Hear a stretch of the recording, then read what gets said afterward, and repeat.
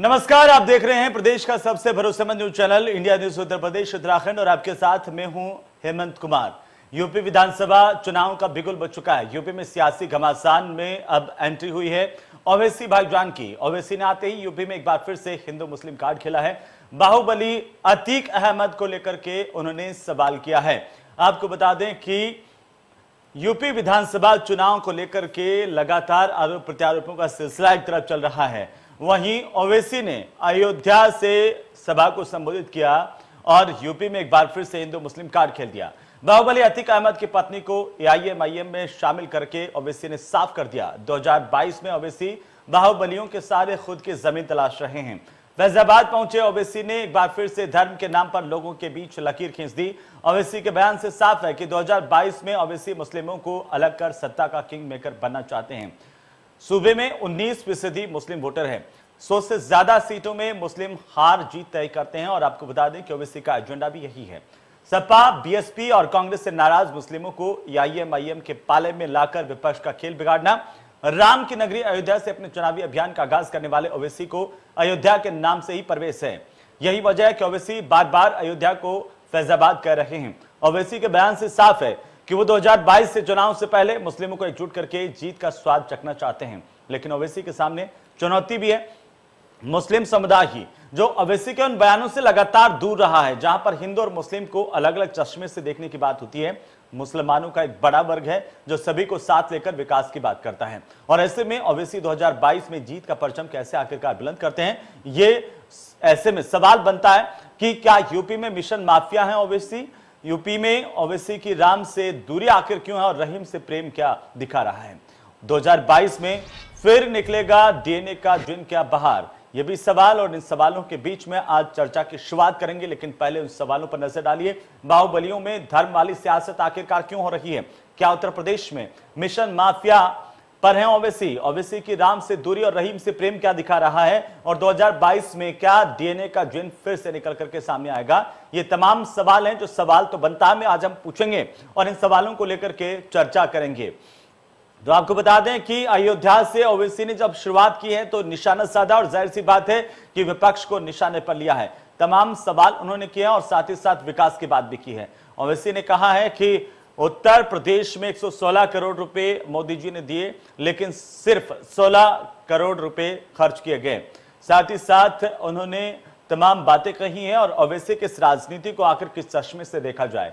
क्या ओवैसी इसी सहारे उत्तर प्रदेश की राजनीति में एंट्री मार रहे हैं और क्या इसी के सारे 2022 के रण में वो कुछ कर पाएँगे? क्या मुसलमानों को का साथ ओवैसी को मिलेगा? ये अपने आप में बड़ा सवाल और सवाल तो बनता में आज इसी की हम चर्चा करेंगे।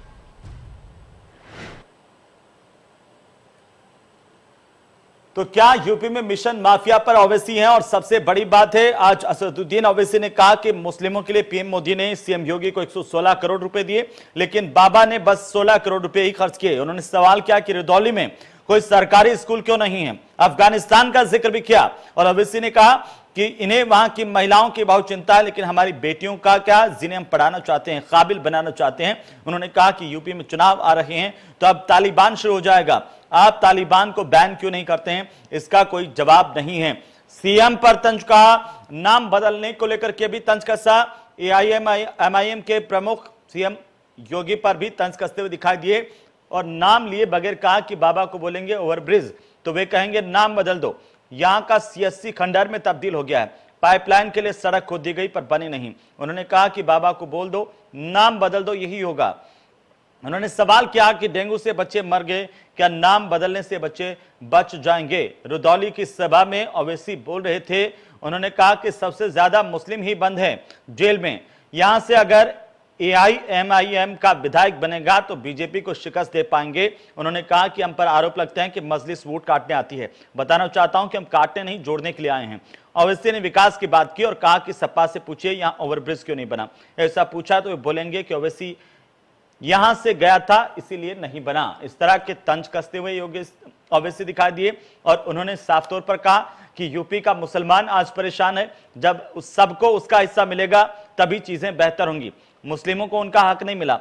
सेक्युलरिज्म के झूठे वादों पर मुसलमानों ने कभी बसपा तो कभी सपा तो कभी कांग्रेस ने कहा कि आपको देखना है कि आपकी असल ताकत क्या है। यह कहने पर कि मजबूर हूँ कि सबसे कम पढ़े लिखे मुसलमान ही हैं। क्या इसका जिम्मेदार ओवैसी है? ये सवाल भी पूछा। साथ ही साथ मोहन भागवत के बयान पर भी पलटवार किया और इससे एक बार फिर से उत्तर प्रदेश की राजनीति गर्मा गई। उन्होंने कहा कि किसी का नाम अतीक या मुख्तार होगा तो बाहुबली होगा। इस, जिसका कुलदीप प्रज्ञा, अतीक अहमद, आज ए आई एम आई शाह ने कहा कि सपा, बसपा, बीजेपी, कांग्रेस को एक तकलीफ़ है कि मुसलमानों को कोई पॉलिटिकल लीडर न बन पाए। उन्होंने दागी जनप्रतिनिधियों के मसले पर भी सत्ताधारी बीजेपी को ही घेरा और कहा कि इनके सैंतीस फ़ीसदी विधायकों पर केस है। इनके कई सांसदों पर मामले चल रहे हैं। तो अवैसी ने आज अयोध्या से निशाना साधा। सपा से गठबंधन को लेकर के भी बोले कि अपनी इज़्ज़त का सौदा नहीं कर सकता। और उन्होंने यह भी कहा कि यूपी में चुनाव आ रहे हैं तो अब तालिबान शुरू हो जाएगा, लेकिन तालिबान को बार बार बीच में ला कौन रहा है?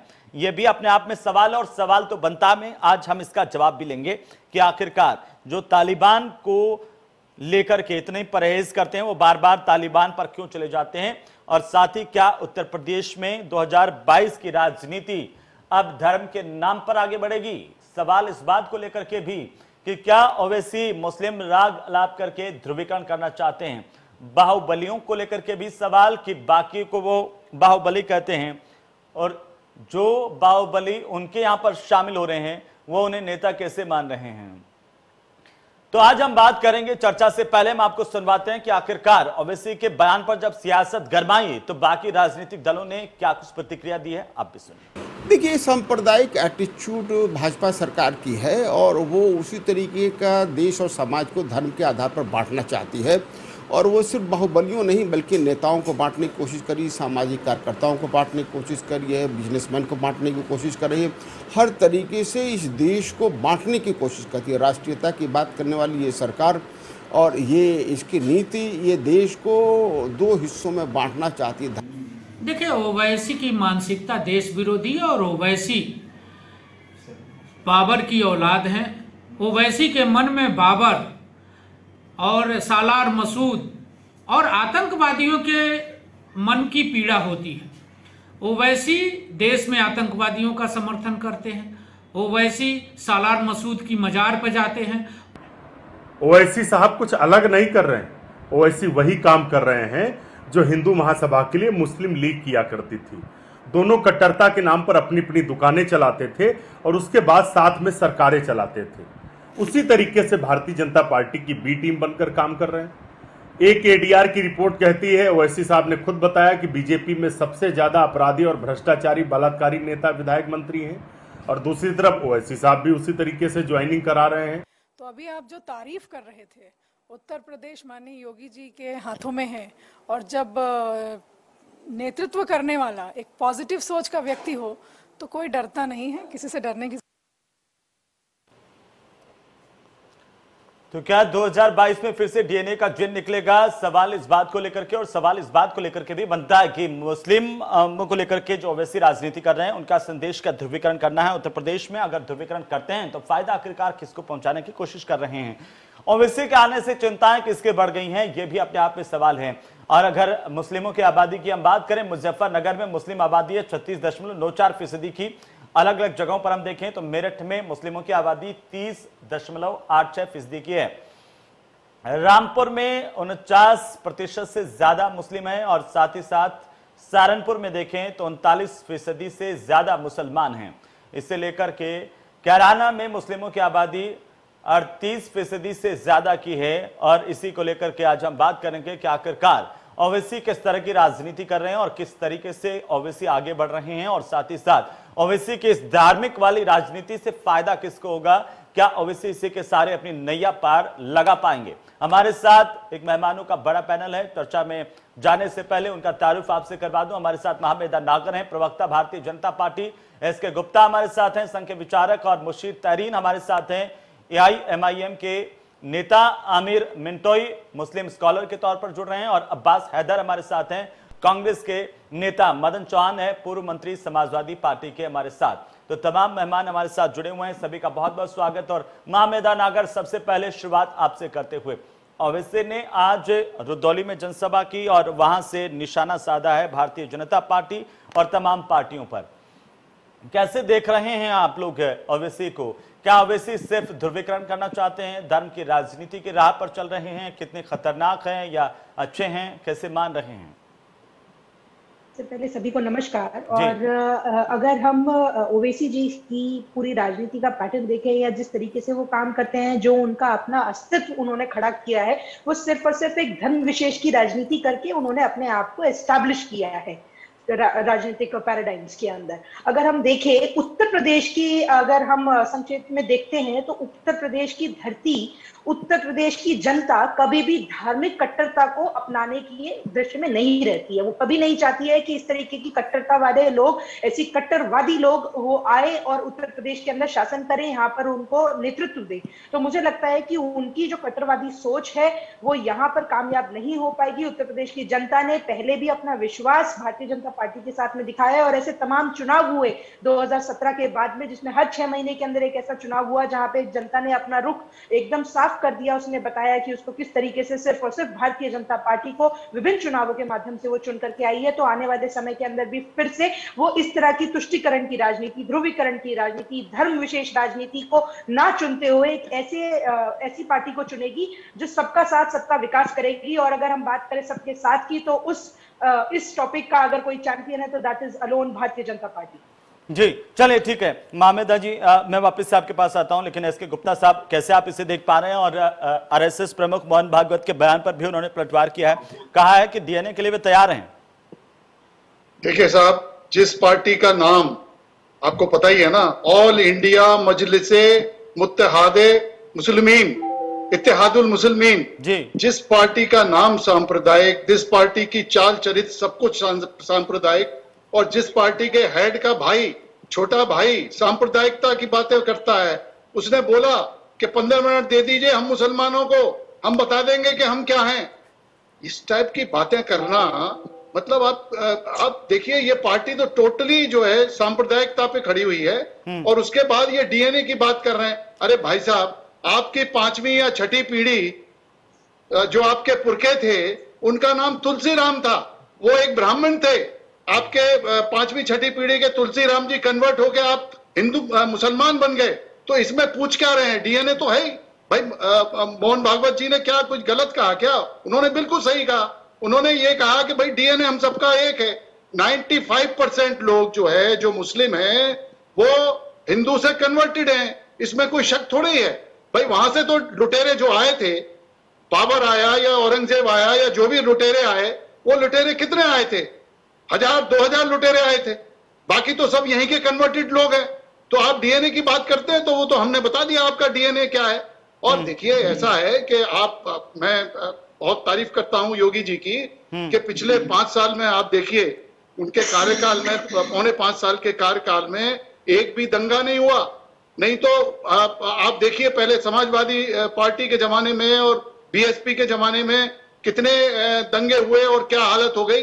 और इतना ईमानदार और इतना स्वच्छंद आदमी हमारे योगी जी जितना बढ़िया जो शासन कर रहे हैं और जनता जानती है, आपको पहचानती है और हमें तो बड़ी खुशी है, आप आइए। आपके मुस्लिम वोट बटेंगे, हमें बड़ी खुशी होगी। समझे साहब? और हमारा तो आप देखिएगा बीजेपी जीतेगी। ये तो बीजेपी वाले बताएँगे लेकिन मेरा जो अपना अनुमान है कि बीजेपी ने जो कार्यकलाप किया है पिछले साढ़े चार साल में और जनता बिल्कुल आश्वस्त है और बीजेपी जीतेगी। तरीन हमारे साथ है। मुशीर तरीन जवाब दीजिए। एस के गुप्ता कह रहे हैं वो आपने सुना होगा और उन्होंने ये भी कहा कि इसमें मोहन भागवत ने गलत क्या कह दिया। ये तो सब जानते हैं कि आपके पुरखे भी पहले हिंदू ही रहे हैं। मैंने तो नाम भी बता दिया। जी इनके पांचवी छठी पीढ़ी के। मुशीर तरीन जवाब दीजिए। नहीं देखें हमारे पुरखे ये तो इन्होंने सौ साल की हिस्ट्री बता दी। पाँच पीढ़ियाँ जो हैं, वो लगभग सौ साल में पूरी हो जाती हैं।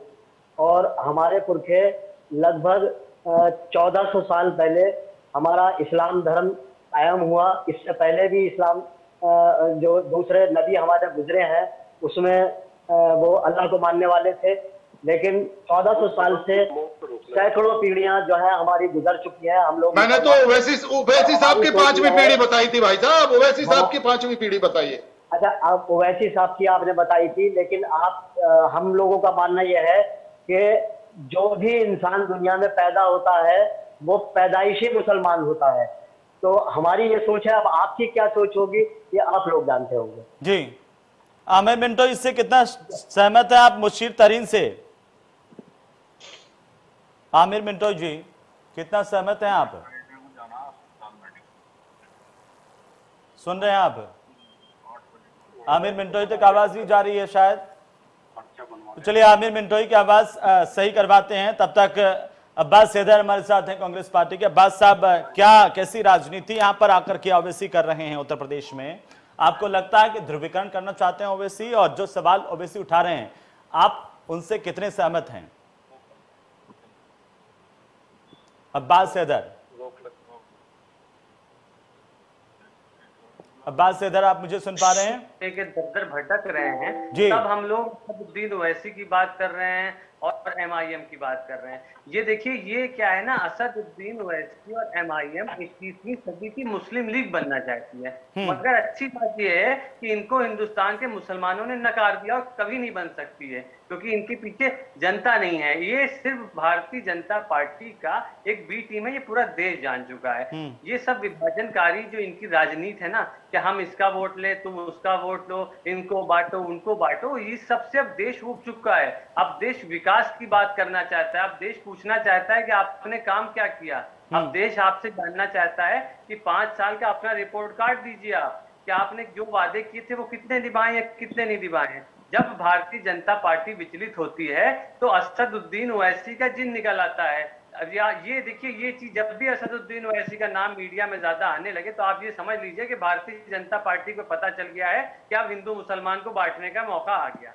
लेकिन इस बार ये बिल्कुल कामयाब नहीं होंगे। जिस तरह बंगाल में असदुद्दीन ओवैसी को मुँह की खानी पड़ी और वहाँ से इनका सुपड़ा, इनका खाता भी निकल पाया उसी तरह उत्तर प्रदेश की जनता भी इनको बिल्कुल नकार देगी। और मैं समझता हूँ कि ये चुनाव जो है ये किसी जाति किसी धर्म का नहीं है। ये उत्तर प्रदेश की जनता के गुस्से का चुनाव है जो भारतीय जनता पार्टी के खिलाफ है और वोट भारतीय जनता पार्टी के खिलाफ जो पब्लिक का गुस्सा है उस पर पड़ेगा।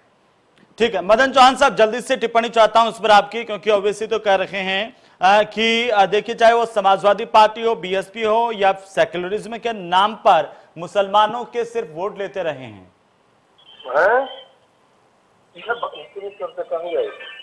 आवाज़ आ रही है आपको मदन चौहान जी मेरी। जी दोबारा बताइए आप हाँ क्या बात कर मदन चौहान साहब मदन चौहान साहब मैं जानना चाह रहा हूँ क्योंकि दरअसल ओवैसी ने कहा है अयोध्या में कि चाहे समाजवादी पार्टी हो बीएसपी हो कांग्रेस हो ये तमाम पार्टियाँ सेक्युलरिज्म के झूठे वादों के नाम पर मुसलमानों के सिर्फ़ वोट लेती रही हैं। जी। देखिए ये ओवैसी का अपना विचार हो सकता है कुछ भी कहे। जी। क्योंकि उन पर रोक टोक तो है नहीं। तो वो कुछ भी कहें वो अलग बात है। लेकिन समाजवादी का अपना एजेंडा है। समाजवादी कमज़ोर और गरीब के उत्थान के लिए काम करती है और लोहिया वाहिनी के आदर्शों पे चलती है। तो उसका विकास का एजेंडा सर्वोपरि है। सबको मिलाकर के चलने का उसका मकसद है सिद्धांत है। और जो हालात अब पैदा हो रहे हैं उसके विरुद्ध सिर्फ़ एक समाजवादी पार्टी बची है जो जो लोगों को जोड़ करके और विकास के रास्ते पे ला सकती है। अरे भाई साहब आपने तो शहरों में हिंदुओं को भगा दिया था। हिंदुओं को भगाने पे मजबूर कर दिया था। आपने तो मुसलमानों की गुंडागर्दी शुरू करवा दी थी। अरे आपको तो जनता जानती है। आपको जनता जानती है भाई साहब। आपको तो उखाड़ के फेंक दिया। आप तो सदियों तक के लिए किस भरपूर करने आए हैं। आपका आप मकसद तो नहीं है है, जनता सब जानती है। हिंदू बचे आपने कैसे कैसे हिंदू गुंडे है पैदा? किए थे गरीब आपके गरीब क्या कर रहे? थे आपने कितना मचाया आप तो आपने कितने सांप्रदायिक दंगे करे हैं। बीजेपी का हिंदुओं का एजेंडा तमाम जनता जानती है आपको और आपके का है। आपके आपके जो वो थे आदमियों से देश वो कैसे आपको। कैसे टोटी चुरा के ले गए गरीब नहीं है आपका तो हिंदू चेहरा कमज़ोर नहीं है है? वो आपके तो दवाई आपके गोली बेड नहीं आपके तो अध्यक्ष ऑक्सीजन नहीं अध्यक्ष अस्पताल नहीं आपके तो अध्यक्ष छोटी देंगे आप? आपका तो स्टैंडर्ड क्या बड़े दुश्मन आप हैं। सबसे बड़े दुश्मन आप हैं हिंदू के। आपने हिंदू को कहीं छोड़ा ही नहीं खिलाए सब जनता पहचानती है। उसको झूठ बोल है करके क्या झूठ बोल करके काम करने वाला नहीं है। आपको जनता ने हिंदू भी समझ चुका है, तमाम लोग समझ आप चुके हैं। आप जी खत्म हो गए। चलिए ठीक है। महामेदा नागर मैं आपके पास आ रहा हूँ। महामेदा नागर जी। महामेदा नागर जी। झूठ बोल करके मदन आप चौहान जी। सरकार में बैठना चाहते हैं। मदन चौहान चाहे जी। किसान हो गन्ने वाला हो चाहे गेहूँ का हो चाहे धान का हो वो कोई किसान विसान नहीं है। शोषण करने कोई किसान आपने विसान नहीं है, ये सब आप ही लोग हैं। मदन चौहान जी मदन चौहान जी आपका कमेंट हो गया जो आरोप है। लगाए मदन चौहान मदन चौहान जी आपने जो आरोप लगाए हैं वो महा- महामेदा नागर से मैं सवाल का जवाब ले लेता हूँ आपने पूछा जो है महामेदा नागर जी आप पर यह गंभीर आरोप लगता है बार बार लगता है कि ओवैसी भाजपा की बी टीम है जी बहुत ही फनी है। मैं क्या बोल सकती हूँ इसके अंदर ये बट मैं आज एक, सबके सामने आज एक और डिबेट के अंदर मैंने सेम बात कही थी। अगर बात करनी है हमारी बी टीम की तो मैं बता दूँ। अब्बास भाई, आप जरा पहुँचा दीजिएगा। हमारा पैगाम अपने राहुल गांधी जी के पास तक। उनको भेज दीजिए यहाँ पे प्रचार के लिए और सबको सिद्ध हो जाएगा कि हमारी असल बी टीम तो राहुल गांधी जी ही है। तो तो ओवैसी जी के बारे में तो मैं कुछ कह नहीं सकती क्योंकि उनसे हमारा कोई ताल्लुक नहीं है। पर हाँ मैं इतना ज़रूर विश्वास दिलाती हूँ कि अगर अगर राहुल जी आते हैं उत्तर प्रदेश के अंदर प्रचार करने के लिए तो पक्का हमारी बी टीम बन जाएगी। लेकिन महामेदा नागर महामेदा नागर ओवैसी ने सवाल पूछा अयोध्या से आपसे कि आप ये नहीं 116 करोड़ रुपए योगी जी ने दिए लेकिन यहाँ पर बाबा ने बस 16 करोड़ रुपए खर्च किए। और उन्होंने ये भी कहा कि रुदौली में कोई सरकारी स्कूल क्यों नहीं है? जी एक बात बताइए मेरे को अभी हाल ही के अंदर एक ऐसा नोटिफिकेशन आया है कि इस तरीके का बयान आया नोट नोटिफिकेशन एक रिसेंटली अभी बयान दिया था इन्हीं के एक स्कॉलर ने वो बोलते हैं मदनी साहब ने कहा था कि किसी भी बच्ची को जो कोएड एजुकेशन में नहीं डालना चाहिए उनको कहीं भेजना नहीं चाहिए और उनके पास में जस्ट अ मोमेंट सॉरी ठीक मुशीर तरीन आप ही जवाब दीजिए इस बात का कि आखिरकार एक तरफ़ आप सवाल उठाते हैं और दूसरी तरफ़ जब सरकार सरकारी स्कूलों की बात करती है तब आप सीधे धार्मिक शिक्षा पर पहुँच जाते हैं तब आप मदरसों पर पहुँच जाते हैं। मुशीर तरीन जी। जी जी जी देखिए मैं अभी जब आपको सरकारी स्कूल में पढ़ना नहीं है जब जब आपको सिर्फ़ धर्म की शिक्षा चाहिए आपको सिर्फ़ मदरसे चाहिए ये किसने कह दिया कि मदरसे ही चाहिए? देखिए जब जब सरकारी स्कूल खुलेंगे नहीं मेरे यहाँ संबल में आप देखिए पिछले लगभग पचास साल में एक डिग्री कॉलेज यहाँ पर बना है वो भी हम लोगों ने अप, अपने पास से ज़मीन देकर बनवाया तब बन गया। वरना कोई भी डिग्री कॉलेज कोई इंटर कॉलेज यहाँ पे जो है नहीं खुल पा रहा। तो अब ऐसे में मैं ये समझता हूँ कि जो अभी एक भाई ने मेरे कहा था कि विकास की बात नहीं हो रही। बात हो रही है यहाँ की वहाँ की ऊपर की नीचे की। तो ये बातें जो है वो क्यों हो रही है? आप देखिए तालिबान की बात हो रही है पाकिस्तान तो हो आपके नेता बार बार तालिबान की बात क्यों करते हैं? नहीं हमारे नेता नहीं करते आप लोग करते हैं आप लोगों को तो को बात एक बात बताइए मुझे एक बात बताइए जब वो अयोध्या आते हैं। और फैजाबाद नाम के पोस्टर लगाते हैं तो ऐसा क्यों होता है? जानबूझकर होता है? देखिए मेरे यहाँ संबंध में मैंने अभी अ, कल अ, मैंने और फिर आप उन पोस्टर के ऊपर टेप चिपकाते हैं। ऐसा क्यों करना पड़ता है? ये कैसी राजनीति है? मेरे यहाँ संबल का नाम बदलकर भीमनगर रखा गया था। वो भीमनगर नाम जो काफ़ी दिन तक दस्तावेजों में भीमनगर चलता रहा। हम लोगों ने जाकर जिला कलेक्ट्रेट पर एप्लीकेशन दी और कोशिश की उनसे जाकर बताया कि जब नाम बदल चुका है तो एक दो साल के बाद तक भी ये नाम क्यों चल रहा है? तो हमारे कहने से वो नाम हटाया गया और बदल दिया गया। तो। ऐसा होता है अक्सर कि नाम अगर बदल दिया गया है तो वो नाम चलता रहता है कुछ दिन जबान के ऊपर रहता है। तो अभी आप जब संविधान की बात करते हैं रिकॉर्ड में तो अयोध्या का नाम अयोध्या है ना अभी? फिर आपको बार बार फैजाबाद से इतना प्यार क्यों होता है? अयोध्या नाम बोलने में भी आपको इतनी नफरत होती है और आप दूसरी तरफ़ कहते हैं तो हम सबकी बात करते हैं सिर्फ़ मुसलमानों की बात नहीं करते हैं और हम हम हम ध्रुवीकरण नहीं करना चाहते हैं। चलिए मैं उस पर बात करूँगा लेकिन छोटे से ब्रेक के लिए रुकना है। छोटे से ब्रेक के लिए रुक रहा हूँ।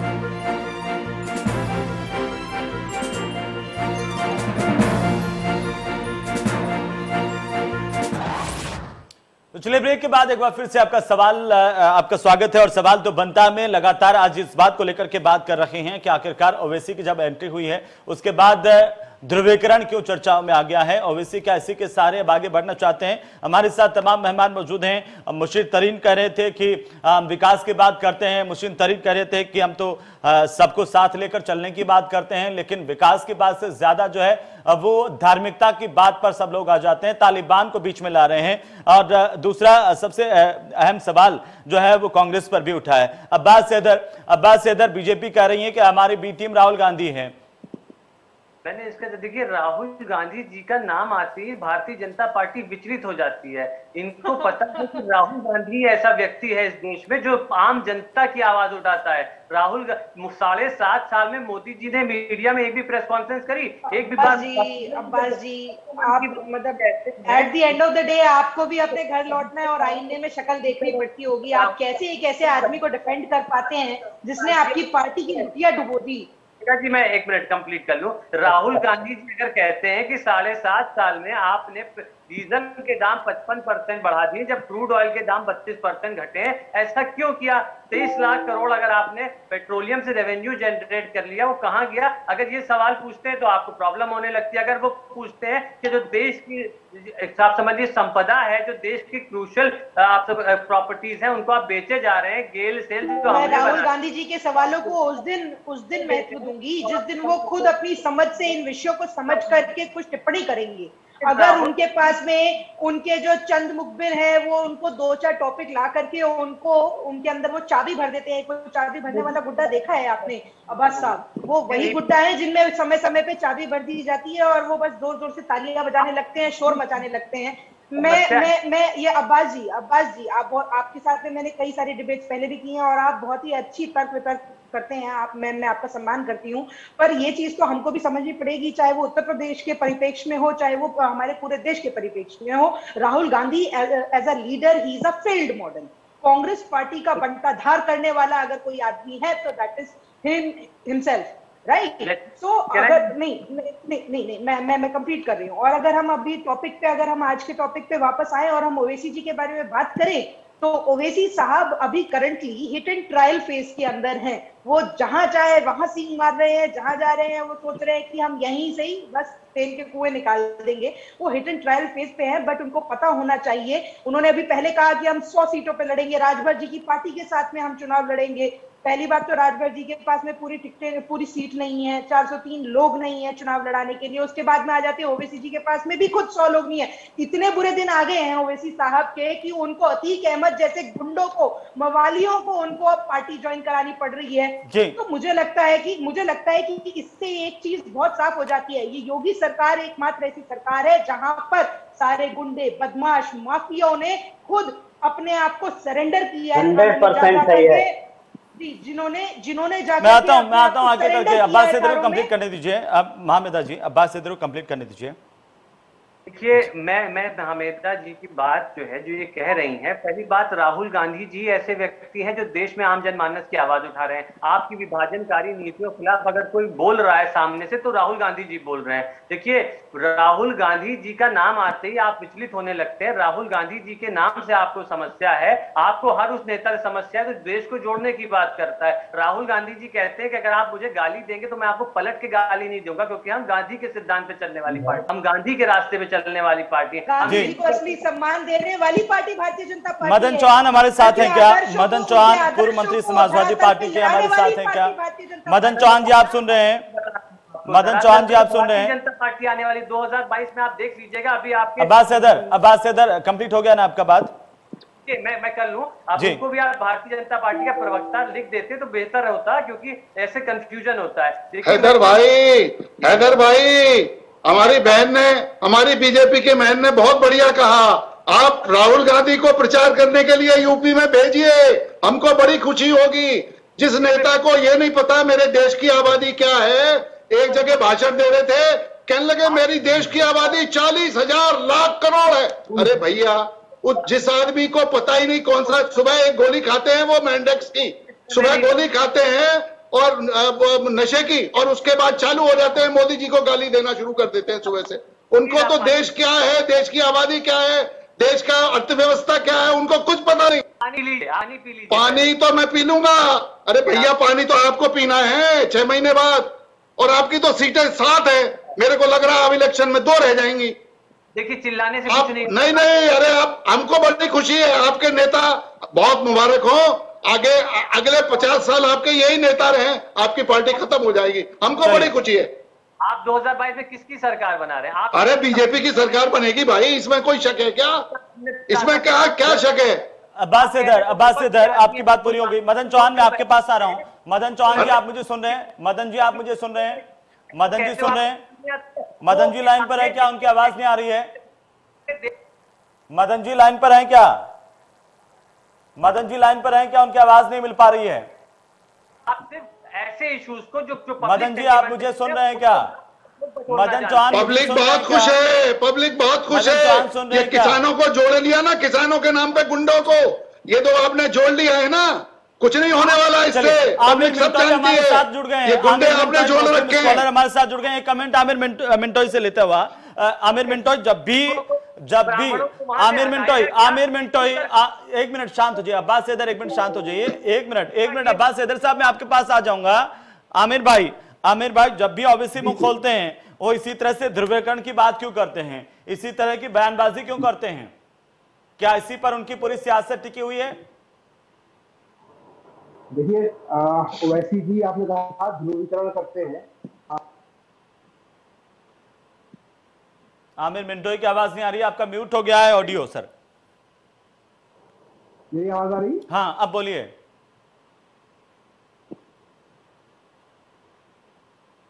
आमिर मिंटोई बोलिए। तो आज का जो मुझे कहीं नज़र नहीं आई आज का जो उनका बयान है उसमें तो ध्रुवीकरण की राजनीति मुझे कहीं नज़र नहीं आई बल्कि उन्होंने कुछ फैक्ट सामने रखे। जी। मैंने जो उनका प्रेस उनका मीडिया प्रेस रिलीज़ उनका देखा मैंने हाँ। तो उन्होंने उसमें बोला कि भाई सैंतीस परसेंट जो बीजेपी के जो एमएलए है यूपी में वो क्रिमिनल रिकॉर्ड है उनका। उन्होंने बोला कि 116 एमपी जो बीजेपी के हैं उनके ऊपर क्रिमिनल चार्जेस हैं जिसमें से अराउंड 67 परसेंट बीजेपी के एमपी पर सीरियस क्रिमिनल चार्जेस हैं। उन्होंने बोला कि एडीआर की रिपोर्ट है कि जो बीजेपी के एमपीज हैं उसमें जो ये 116 एमपीज पर क्रिमिनल चार्जेस है इसमें मोर देन 50 परसेंट पर क्राइम अगेंस्ट वुमेन के चार्जेस हैं। तो ये जो डाटा इन्होंने ओवैसी जी ने आज रखा है तो ये भारतीय जनता पार्टी की तरफ़ से गुप्ता साहब यहाँ मौजूद है मैं इनसे पूछना चाहूँगा अगर ओवैसी साहब ने जो डाटा आज प्रेजेंट किया है अगर ये डाटा गलत है तो वो बताएँ। वो फैक्ट्स के साथ में रखें और बताएँ उसको कि ओवैसी साहब झूठ बोल रहे हैं। और अगर सच बोल रहे हैं तो वो बताएँ कि ये जो क्राइम अगेंस्ट वुमेन का सबसे ज़्यादा जो क्राइम अगेंस्ट वुमेन करने वाले जो भारतीय जनता पार्टी के मेंबर्स हैं, उस पर जी। भारतीय जनता पार्टी का कहना है। 116 एमपी जो फ़िल्म उस पर भारतीय जनता पार्टी का कहना है। सैंतीस परसेंट बीजेपी के एमएलए यूपी में बैठे हैं क्रिमिनल रिकॉर्ड साथ उस पर क्या कहना है? भोपाल में जो बीजेपी के आईटी सेल के लोग आईएसआई के लिए मुखबिरियाँ करते हुए पकड़े गए उस पर बीजेपी का क्या कहना है? ये बताएँ बीजेपी के प्रवक्ता यहाँ पर मौजूद है। लेकिन आप तो आप आप कह रहे हैं कि कोई ध्रुवीकरण वाला बयान नहीं दिया। अयोध्या को अयोध्या कहने से इतनी परेशानी क्यों होती है? नहीं उन्होंने तो बोला अयोध्या अयोध्या कहेंगे लेकिन अभी जो मैंने ये उन्होंने उन्होंने क्या कहा वो मैं पढ़ के बता देता हूँ। जी बताइए। ओवैसी ने कहा है कि फैजाबाद से चिड़ क्यों है लोगों को? इतनी जलन क्यों है? फैजाबाद से किसी को जलन नहीं है। लेकिन लेकिन लेकिन लेकिन अगर किसी का नाम अगर उनके पोस्टर्स में अयोध्या का नाम फैजाबाद लिखा जाता है सरकारी रिकॉर्ड में तो अयोध्या है ना? अयोध्या से क्या दिक्कत है?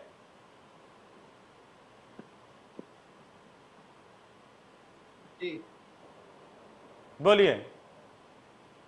जी आपकी आवाज़ थोड़ी कट गई थी दोबारा बोल देंगे मैं ये पूछ रहा हूँ उन्होंने एक बार फिर से वही राग अलापा ये ये क्यों कहा कि फैजाबाद से जलन क्यों है? फैजाबाद से किसको जलन है? लेकिन अगर अयोध्या का नाम सरकारी रिकॉर्ड में अयोध्या है तो अयोध्या बोलने में परेशानी क्या है?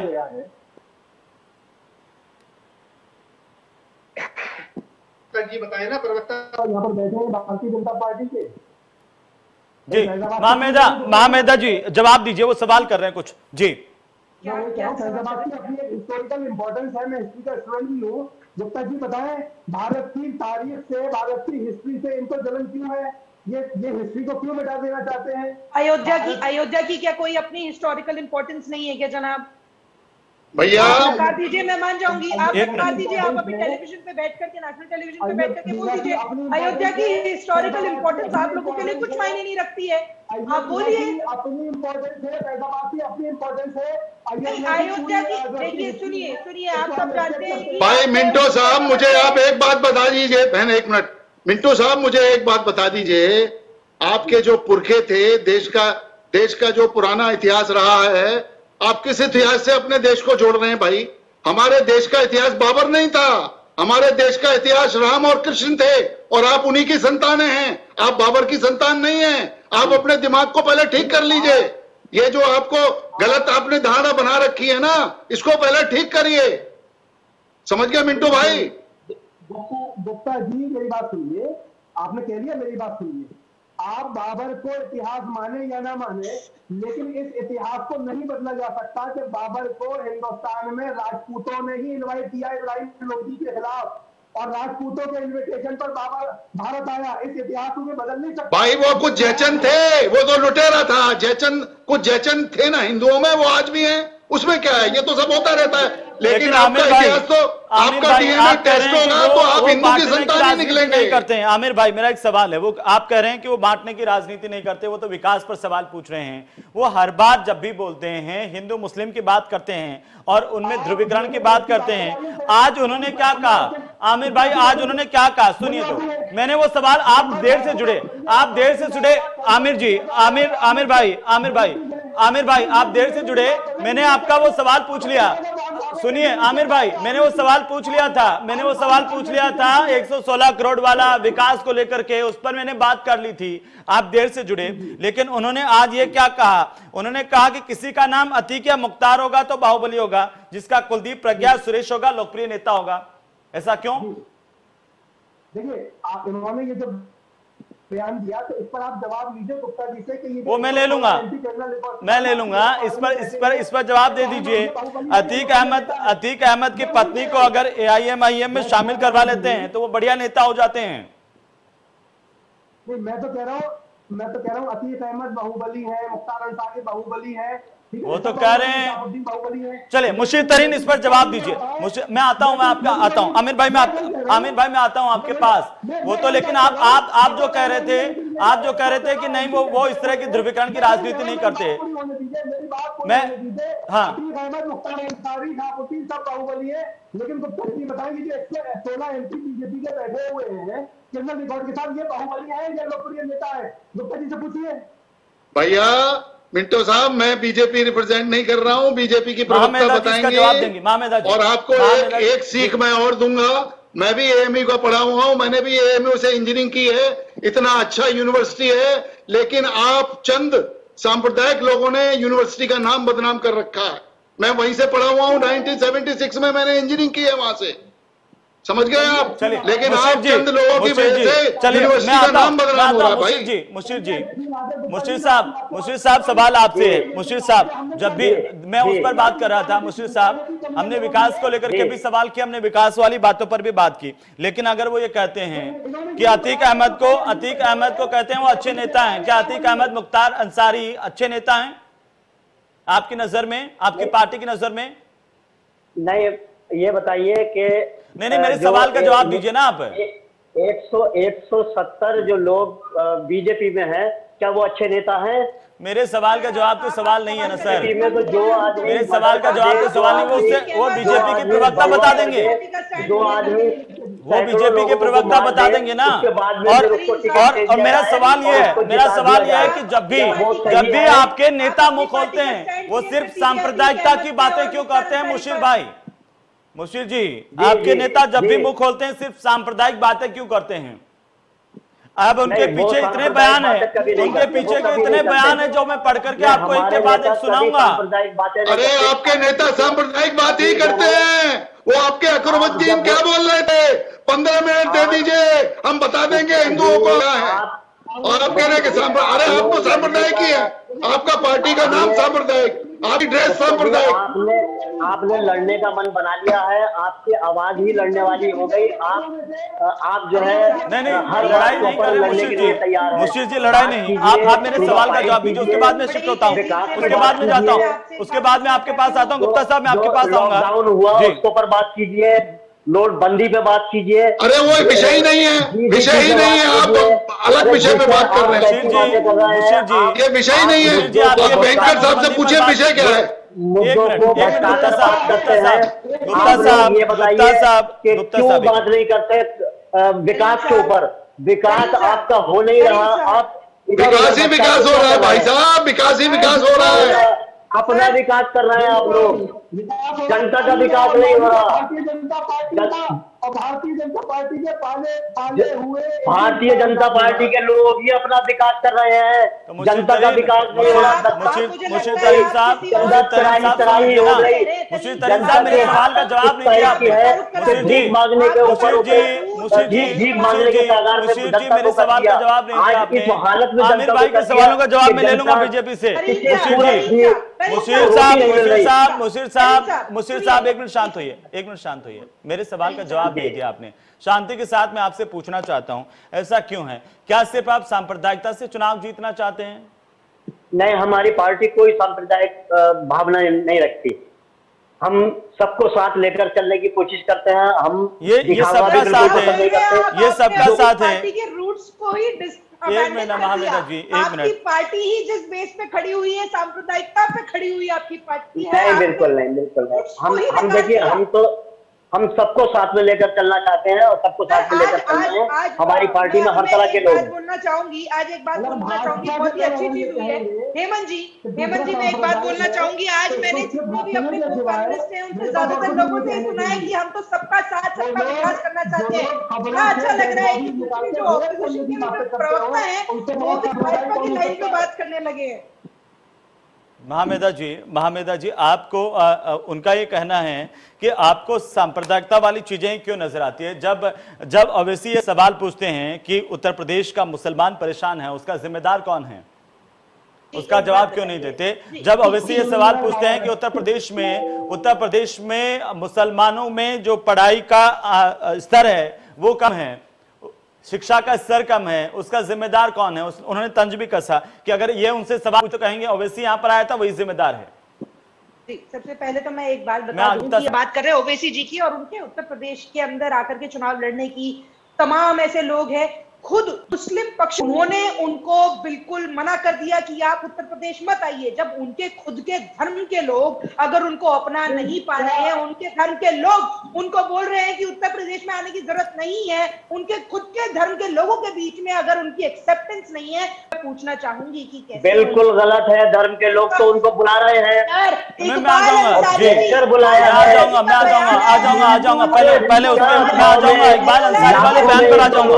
आ जाऊँगा। एक बार महामेधा जी को सुन लीजिए मुशीर जी मुशीर जी मुशीर जी एक मिनट मैं आपसे निवेदन कर रहा हूँ। मुशीर साहब मैं आपसे निवेदन कर रहा हूँ कि मैं आपके पास आऊँ तब आप बोल लीजिएगा मैं आ रहा हूँ आपके पास वही सवाल लेकर के आ जाऊँगा। महामेधा जी ऐसा कोई नहीं सोचता ऐसा कोई नहीं सोचता। मैं जी एक बात सुन लीजिए आमिर भाई सुन लीजिए ना। एक एक करके बोलेंगे सबको समझ में आएगा। महामेधा जी और रही बात उन्होंने साथ ही साथ में ये भी कहा कि उनको उत्तर प्रदेश के मुसलमानों का हितैषी बनने की ज़रूरत नहीं है। उत्तर प्रदेश का मुसलमान जानता है उसको कौन चाहिए कौन नहीं चाहिए वो यहाँ पर ना आए। जब उनके धर्म के लोग उनको अभी तक भी एक्सेप्ट नहीं कर पा रहे तो चलिए मदन मदन चौहान जी हमारे साथ हैं क्या? मदन चौहान साहब हमारे साथ फ़ोन लाइन पर हैं क्या? उनको लाइए। मदन चौहान जी हमारे साथ हैं क्या समाजवादी पार्टी से? तो चलिए मदन चौहान जी तक आवाज़ नहीं जा रही है। अब्बास सेदर में आपके पास आता हुआ। अब्बास सेदर बार बार ये आरोप क्यों लगता है? कि आप आप जो हैं वो लगातार मुसलमानों की जो खराब स्थिति है, उसके लिए आप जिम्मेदार हैं। देखिए मैं ये क्यों आरोप लगता है? चाहे वो अवैसी से बात कर लीजिए किसी और से बात कर लीजिए।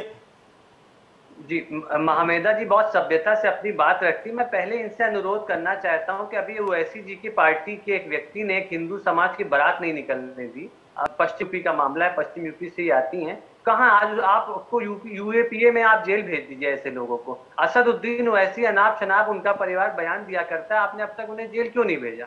मेरा देखिए क्या है ना 1942 में श्यामा प्रसाद मुखर्जी और मुस्लिम लीग साथ में बंगाल मंत्रिमंडल में मंत्री थे श्यामा प्रसाद मुखर्जी और नॉर्थ वेस्ट फ्रंटियर प्रोविंस में भी उनकी सरकार मुस्लिम लीग के साथ थी। तो हमेशा से ये इनका ये रहता है कि हम दोनों सरकार बनाएँगे। तो ये दोनों एक सिक्के के दो पहलू हैं। एक बात दूसरी बात उद्दीन ओवैसी जी का वही हाल है कि आप, अपने यहाँ हैदराबाद में तो आठ सीट नहीं लड़ पाते और पूरे देश के मुसलमानों के ठेकेदार बने इनका हाल वही है कि घर में नहीं है दाने अम्मा चली बुनाने ठीक है बिहार भी जाके लड़ोगे बंगाल भी जाके लड़ोगे महाराष्ट्र भी जाके लड़ोगे। तो इनका सिर्फ़ खेल है, हिंदू, मुस्लिम करो। इससे इनको भी थोड़ा बहुत कुछ फ़ायदा हो जाता है और भारतीय जनता पार्टी को भी फ़ायदा होता है। हम लोग ऐसी राजनीति में विश्वास ही नहीं करते। हम लोग चाहते हैं कि हर समाज के, हर जाति, धर्म सबका विकास हो। और एक बात और मैं कहना चाहता हूँ, हिंदुस्तान के मुसलमान ने मौलाना आज़ाद के बाद कभी भी किसी मुसलमान को राष्ट्रीय स्तर पर अपना नेता नहीं चुना है।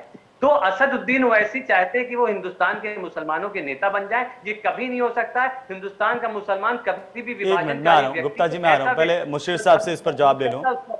नेता नहीं चुन सकता है। मैं हैदर भाई को एक जवाब दूँगा।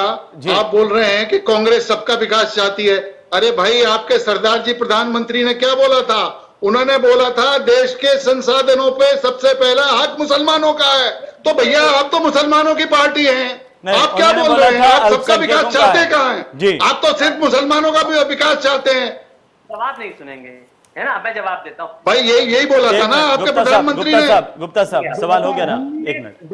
आप तो हिंदुओं का विकास चाहते हैं तो फिर ये बताइए कि वो जो गंगा में लाशें बह रही थी ये मुसलमान की नहीं थी। चलिए मैं इस पर जवाब मैं दूँगा मुशीर साहब से। मुशीर साहब मुशीर साहब वो कह रहे हैं। मुशीर साहब मुशीर साहब आपने कांग्रेस के प्रवक्ता की बात सुनी है। मुशीर साहब जवाब दीजिए इस बात पर। भैया हम हिंदुओं का नहीं चाहते। आप एक बात सुनिए। एक मिनट गुप्ता जी। पहले तो ये समझने की कोशिश करिए। एक मिनट एक मिनट। गुप्ता जी गुप्ता जी। गुप्ता जी एक मिनट एक मोहन भागवत जी ने क्या बोला है? गुप्ता साहब एक मिनट। देश में रहने वाला हर आदमी हिंदू आप उसको धर्म से मत जोड़िए। गुप्ता साहब एक मिनट एक मिनट। नाम नहीं मुशीर साहब से एक एक मिनट मुशीर साहब एक कमेंट गुप्ता जी जो यहाँ हिंदुस्तान में रहता है वो हिंदू है। यहाँ का मुसलमान भी हिंदू है।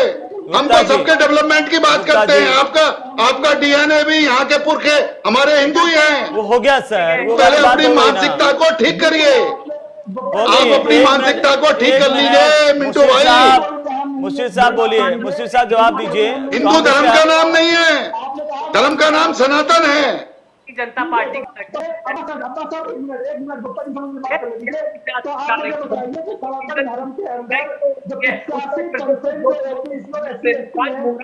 मुशीर साहब मुशीर साहब आखिरी कमेंट चाहता हूँ मैं आपसे इस पर। मुशीर साहब एक मिनट साइलेंट हो जाइए सब। सबकी आवाज़ डाउन कर दीजिए सबकी आवाज़ डाउन कर दीजिए। मुशीर साहब आप मुझे सुनिए सुन रहे हैं तो आप मुझे बताइए कि जब एक तरफ़ मुसलमान कह रहे हैं कि ओवैसी से सावधान रहें इकबाल अंसारी का बयान आपने सुना होगा दूसरी तरफ़ आप कह रहे हैं कि हम सबसे बड़े मुसलमानों के देश हैं।